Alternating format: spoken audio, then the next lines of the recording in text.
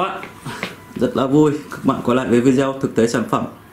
Hôm nay mình sẽ chia sẻ à, hình ảnh thực tế của ThinkPad T570 Một sản phẩm mới ra và cái sản phẩm này cũng được đánh giá cao trong cái hội ờ, uh, trợ công nghệ, hội trợ tiêu dùng.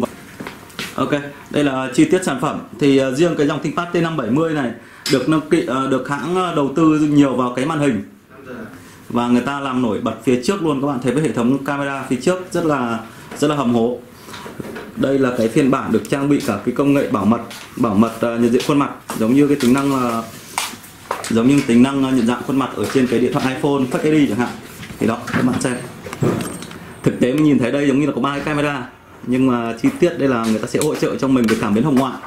À, hỗ trợ khi ánh sáng yếu để cho mình luôn đảm bảo được cái hình ảnh mà thu phát camera tốt.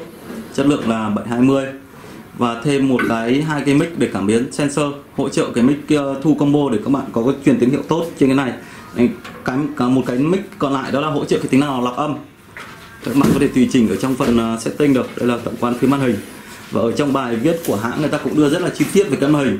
Người ta nâng cấp toàn bộ cái cái hệ thống màn hình này lên về thiên về cái để cho, thiên về để mình làm về đồ họa, cũng như là tương phản màu. Thì các bạn chịu khó xem cái đánh giá ở cái phần mô tả của video, cũng như là trong bài viết đó. Như cái video trước mình đưa tự đưa nhiều về cái ngoại hình sản phẩm rồi. Đây mình uh, cảm nhận thực tế khách hàng vừa khui mình mượn mình giới thiệu qua thôi. Đây tổng quan phía bên trong bàn phím.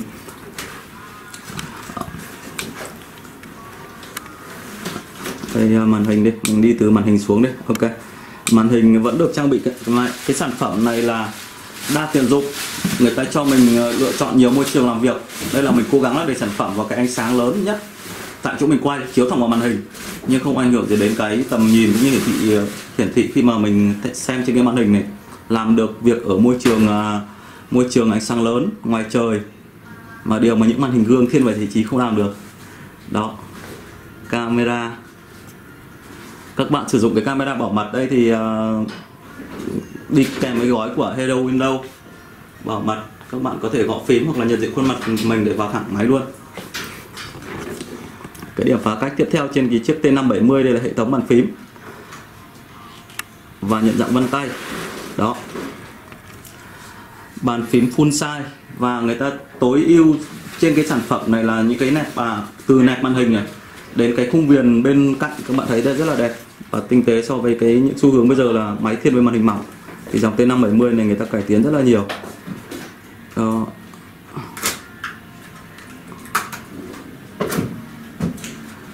Giữ lại hai chuột.